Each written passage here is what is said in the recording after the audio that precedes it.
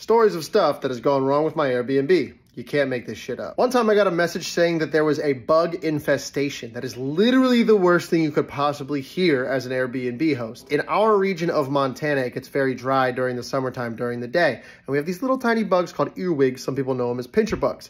Well, at nighttime, earwigs, when it gets a little more cool and moist out, decide to come out of the ground. And this particular summer, they decided to come out of the ground and cover our entire house. I went there a couple of days later and it was like a scene out of a horror movie. It gets dark and nighttime, and all of a sudden there are 600 bugs literally crawling all over you. It was absolutely terrible. Thankfully, we were able to get an exterminator out there very quickly who did an amazing job and took care of this issue promptly. But that shit was fucked up.